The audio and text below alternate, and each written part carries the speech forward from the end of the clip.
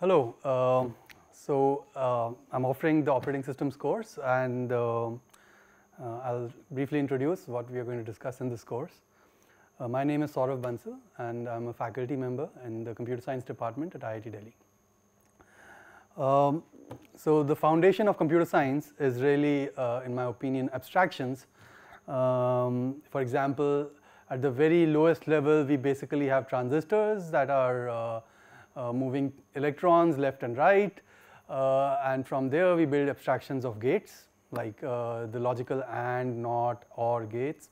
From there we build abstractions of execution units like ALUs, memory, etc. From there we bring abstractions of instructions, for example, uh, add, subtract, load, store, etc. From there we bring abstractions of instruction set architectures and full CPUs uh, or uh, you know computers, uh, the, the processors that go inside our computers are also called CPUs. And, and after that it is um, libraries that are uh, written in software to basically give better abstractions. For example, uh, abstract uh, libraries to be able to print on the console or send a packet on the network and things like that. Then we have abstractions of programming languages. And then we have abstractions of virtualization. So what do I mean by virtualization? Well, uh, you know, there are a bunch of resources inside a computer. One of the resource is the CPU itself, which contains all these transistors uh, and a huge uh, hierarchy of abstractions within it. But then there are other resources like memory, uh, disk, peripheral devices like I.O. devices, um, and so on, right?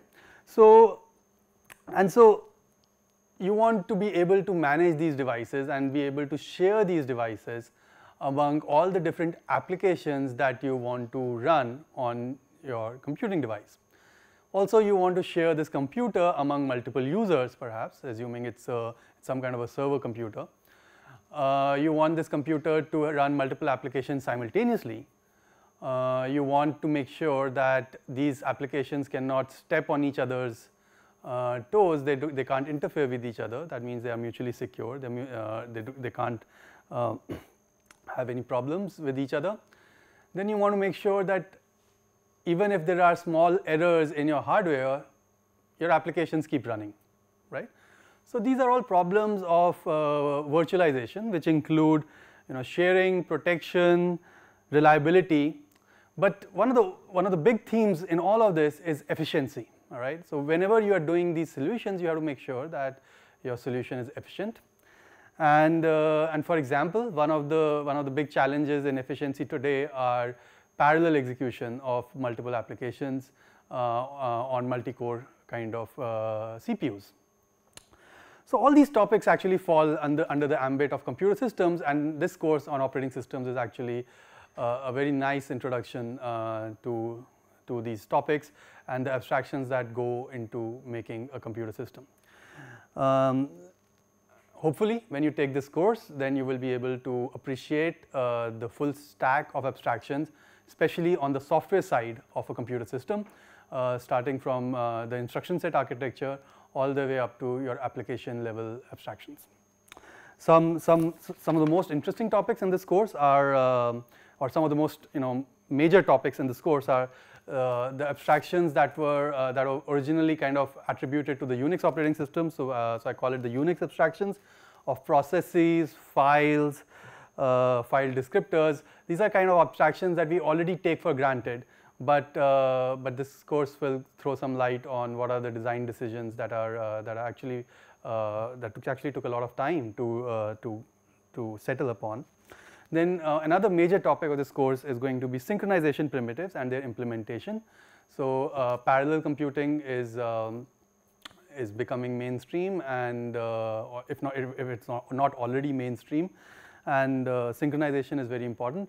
So what are the synchronization primitives, how do they get implemented, what are the trade-offs in terms of performance and scalability uh, when we discuss these synchronization primitives. This course will introduce you to such concepts. Uh, we will also talk about memory management uh, where multiple applications can coexist and they can have uh, memory allocated to themselves and yet uh, they do not need to bother about one application writing on the uh, address space or the memory of the other application and things like that. Uh, it itself is a, is, a, is a full topic in itself. Uh, then we'll talk about file systems, uh, which is a way of which you can think of pretty much as data structures on the disk. And uh, the trade-offs and the considerations for data structures on the disk are much different from the data structures in memory, uh, assuming you've already taken the data structures course uh, before this course. And then we'll also talk about uh, briefly about some ideas in distributed systems. So this course uh, is, is about all these kind of different topics.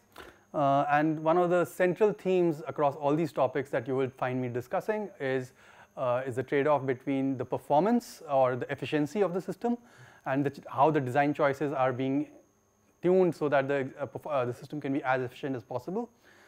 At the same time, uh, worrying about all the other things, and one of the major other thing is complexity.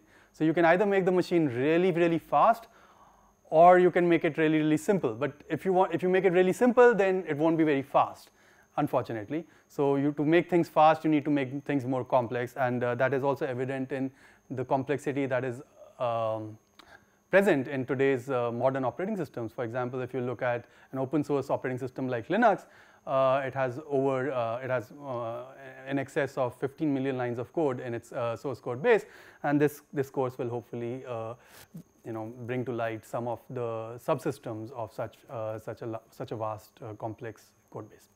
Okay, thank you, and uh, hope, you, hope you find this, ho hope you are interested in taking this course. Okay.